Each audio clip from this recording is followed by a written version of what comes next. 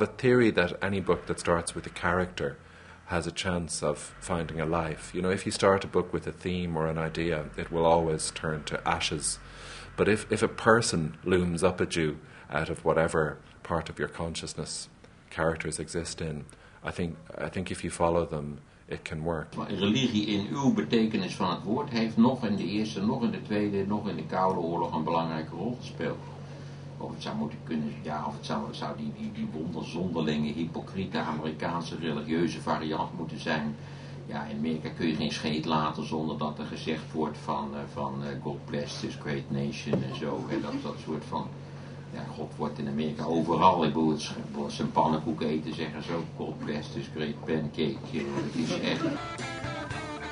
Vandaag is de officiële internationale lancering van de autobiografie van Eric Clapton en van zijn nieuwe dubbel-cd. We zijn in Pakhuis Wilhelmina in Amsterdam en wij gaan vanavond naar een tributeband luisteren die allemaal nummers speelt van toen tot nu.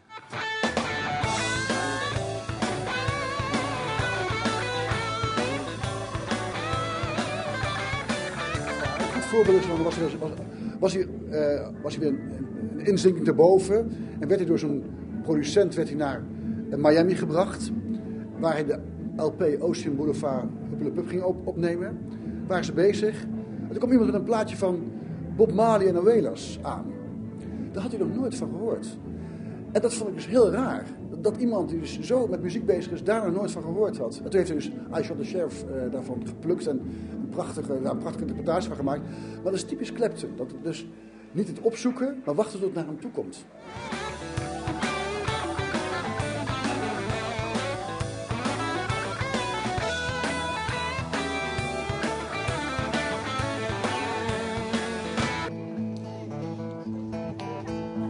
Kies ervoor om met het geheim te leven, liever dan dat je een, uh, een, een, antwoord uh, uh,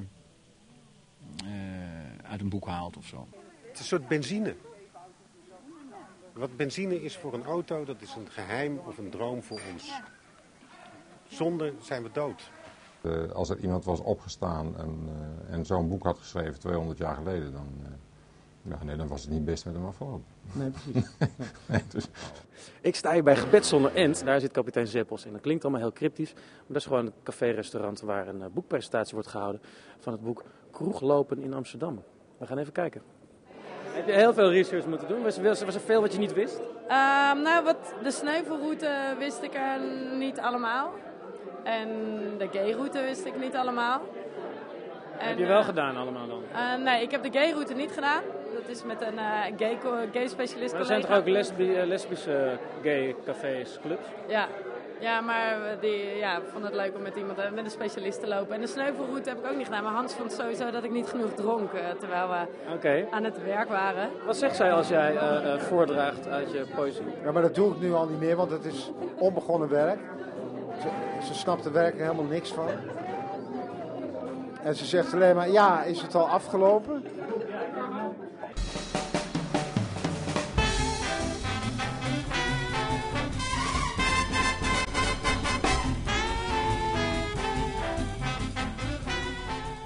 Ik heb het ook met heel veel plezier geschreven. En uh, ja, ik ben blij dat jij er ook van genoten hebt. Uh, het valt mij ook mee dat we in al die sessies geen ruzie gehad hebben.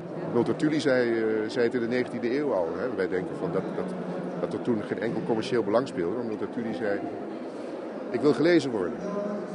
En dat in de eerste plaats natuurlijk. In de tweede plaats wil je gekocht worden. Want je moet er ook van leven. De conversatie op de kring was het laagste van het laagste.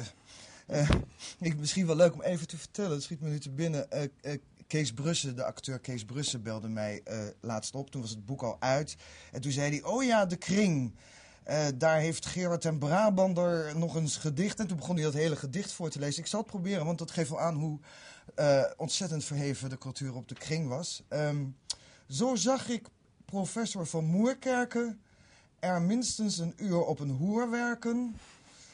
Ik vond het wat raar, maar hij kwam erop klaar. Dat kon ik aan een vlek op de vloer merken. nou, dat is denk ik typische uh, kringhumor. Maar je kunt daar natuurlijk niet een boek mee vullen. Laten we even wel zijn, dan zou het al heel gauw flauw worden. Uh. Je hebt, toen je voor de, de, je eerste doelpunt maakte... ja, dat was wel... Dat was heel leuk. Dat was nog op het kleine veld. En je hebt ook op het grote veld toen een keer een heel raar doelpunt gemaakt. Vond ik ook heel erg grappig. Die bal die de lucht in ging. en die, die, viel zo het dak van het doel in. Dat was erg grappig. Dat was vanaf de middenlijn of zo. Ja, maar hij was ver weg. Ja.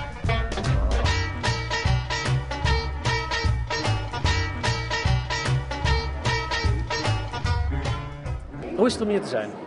Ja, ontzettend leuk, al die kinderen die langskomen en uh, graaien in de cd'tjes. Net zei een, een meisje dat haar lievelingscomponist Bach was. Ze was geboren op Bachmuziek, hoorde het altijd en ze slaapt er nog bij in. Nou ja, het is toch helemaal het einde. Je hebt topsporters en je hebt topsporters. En uh, hier staat een hele grote. En ik moet af en toe een beetje een hart onder de riem krijgen.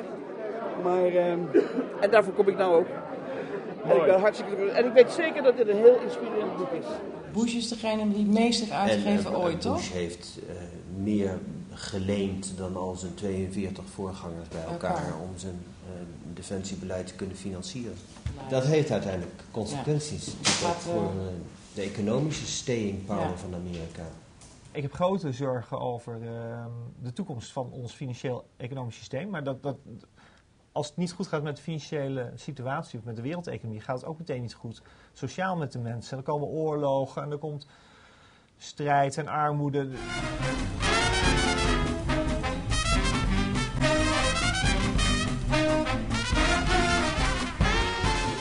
Wat vaak de indruk is dat de miljonair om geld gaat, dat is helemaal niet zo. Het geld is, is niet het doel, dat komt toevallig aanwaaien.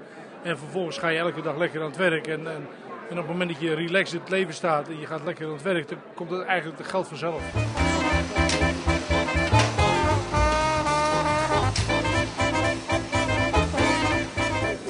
Nou, ik, heb, ik had nog helemaal nooit een drukkerij van binnen gezien. Dus ik ben al, daar al van onder de indruk om te zien hoe dat allemaal gaat. Maar ja, dat het nu mijn eigen boek is, is natuurlijk helemaal fantastisch. Allemaal zo ingenieus uitgedacht. Zoals op het eind, om nou maar een kleinigheidje te noemen. Dat daar dan nog net het boek wat er aankomt rollen een slagje gedraaid kan worden. Dat, dat, dat je dat allemaal bedenkt, is zo prachtig.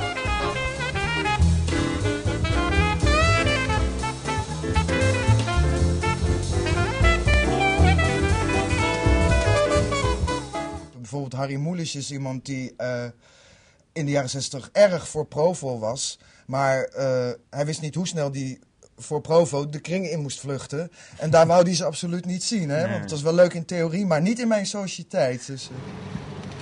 Langs de Amstel gaan de doden. Doden in een lange rij. Laten we hun namen noemen, want ook namen gaan voorbij. In de ochtendstille morgen, stille morgen, zonder maan. Als er doden langs de Amstel, langs de Amstel doden gaan.